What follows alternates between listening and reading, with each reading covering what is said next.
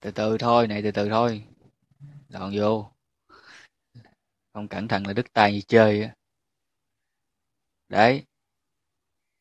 Xíu nữa thôi, xíu nữa ra rồi. Ok ok ok. Chuẩn luôn luôn. Ấy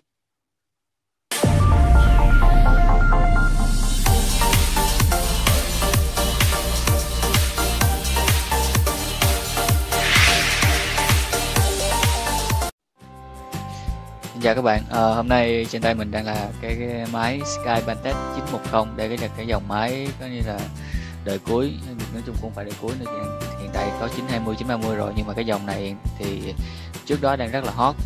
Nó gọi là còn gọi là siêu phẩm luôn á chỉ có khoảng một hai năm trước thôi. Thì cái máy này à, hiện tại nó đang bị à, hư hỏng đứt hết toàn bộ màn hình luôn. Nói chung là cái màn này hiện tại không xài gì được hết. Nó đang thui luôn rồi nên là uh, khách hàng liên hệ bên mình và thay nguyên bộ màn hình mới thì ờ, giá cho nguyên bộ màn hình Sky 910 mình sẽ cập nhật cái link bảng giá phía dưới cái mô tả đó các bạn có thể click vào xem thêm. Còn ờ, trong cái video này thì mình sẽ ờ, nói sơ qua cho các bạn quy trình để mình thay cái màn hình cho Sky 910 thì màn hình Sky 910 của mình là màn hình mới chính hãng 100% luôn nên các bạn có thể yên tâm qua thay ok à, và với những cái khách hàng hoặc là khách quen nào có giới thiệu bạn bè đến nó sẽ được giảm giá và tặng thêm cường lực gì đó. Rồi à, thì Ờ, à, thực ra thay màn hình thì rất là mau. À, tách cái mặt ờ, tay các cái mặt kính màn hình bị vỡ ra xong mình thay màn hình với vào gắn với con ốc xong. Đó cho nên là mình sẽ nói sơ qua một số cái à, về cái con máy này thì hiện tại á à, lúc trước mình cũng xài mà mình đã từng xài qua cái máy 910 này rồi. À, cảm giác cầm nắm thì thôi khỏi bàn là rất là sướng tay. Chắc nó tựa như là cái con uh, 870 vậy đó bạn nào từng xài qua Sky tại qua 870 đã biết cái máy nó xài ổn. Bền. Duy chỉ có một cái vấn đề duy nhất của 870 gặp phải là cái pin quá củ chuối. Pin xài hầu như là chưa được tới nửa ngày. À, nhưng mà khi mà đã sang dòng 910 này rồi thì cái thời lượng pin tăng lên được một xíu. Có điều là cái máy này á thì nó không giống những cái đời trước. Với là cái đặc biệt cái con máy này là sử dụng cái màn hình AMOLED của Samsung. Thì có một thông tin sau này thì mình cũng nghe lâu rồi đó là uh, Samsung cũng mua lại cái mảng uh, cái mảng điện thoại của hãng Bantet này thì không biết có đúng không? Nghe cũng lâu rồi nhưng mà cũng không có cập nhật gì nữa hết á. À, nên à, các bạn muốn tìm hiểu thì có thể trên Google.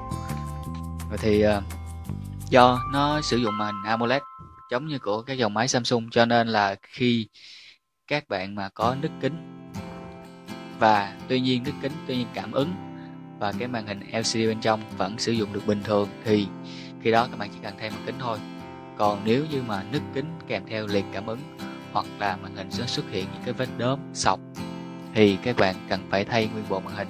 Hoặc là có thể nứt kính ờ, có thể không nứt kính nhưng mà à, à, à, bị hư cảm ứng liệt cảm ứng loạn liệt cảm ứng gì đó hoặc là màn hình trong bị sọc bị đốm thì các bạn vẫn phải thay nguyên bộ màn hình. Đó là cái nguyên tắc chung cho tất cả các dòng máy mà sử dụng màn hình AMOLED.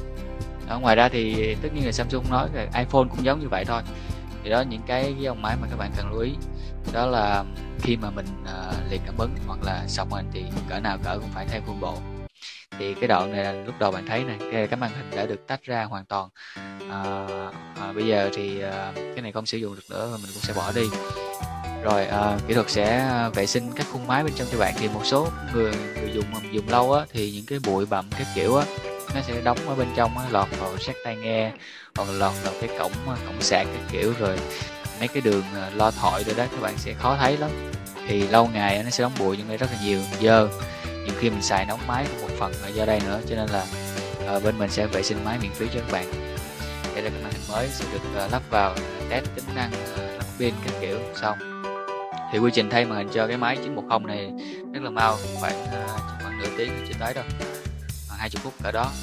đó các bạn có thể qua và mình có thể ngồi đợi xem trực tiếp hoặc là mình đợi lấy máy luôn.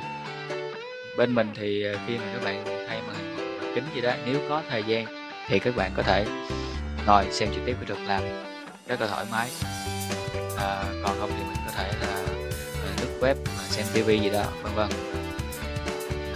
Về cái màn hình của Sky 910 này thì sẽ được bảo hành 4 tháng một đổi một thì chế độ bảo hành thì các bạn có thể tham khảo thêm mình cũng có để link ở bên dưới. À, thì à, một số điểm các bạn cần lưu ý là à, đối với những cái dòng màn hình AMOLED như này thì nó rất là mỏng nha nên các bạn hạn chế khi mà mình bỏ túi hoặc là mình sử dụng gì đó. À, phải thực sự là phải chú ý chứ ờ, các bạn mà đè hay là tì mạnh lên màn hình là mặc dù nó có thể không bị đứt kính nhưng mà mà bên trong nó sẽ có thể sẽ bị sọc bị ờ, thậm chí là bị những cái vết đốm mình cái vết ố trên cái mặt kính nhìn rất là mất thẩm mỹ và khó chịu. Còn nếu như mà liền cảm ứng là coi như khỏi sử dụng luôn. Thì quy trình tháo lắp cũng rất là mau. À, thế này cỡ này là xong rồi đó. Giờ chỉ việc là test sơ qua tất cả các tính năng sau đó là mình mình sẽ giao lại cho khách. Thì uh, một số uh, một số bạn đó thì à, không có thể là không xài dòng này. Thế là như là với mình thì có thay mặt kính và màn hình cho 850 860 870 uh, 850 890 890 thì rất là nhiều bạn xài bên mình thay rất là nhiều. Nhưng mà chủ yếu là thay mặt kính cảm ứng thôi. Thay màn hình full bộ thì ít thấy anh em nào hỏi lắm. Đây là cái máy đã được thay xong cái màn hình mới. Đấy, cảm ứng được ok ngon lành hết. Đây còn đây cái màn hình cũ bạn thấy nè nát hết. Rồi thì uh, bên mình thì có năm chi nhánh các bạn có thể ghé bất cứ đâu để được hỗ trợ thay màn hình cho 910 nhanh chóng và không phải mất thời gian chờ đợi lâu. Đó à, chế độ bảo hành thì 4 tháng đổi một. Rồi các bạn có thắc gì cứ comment dưới mình sẽ trả lời sớm nhất.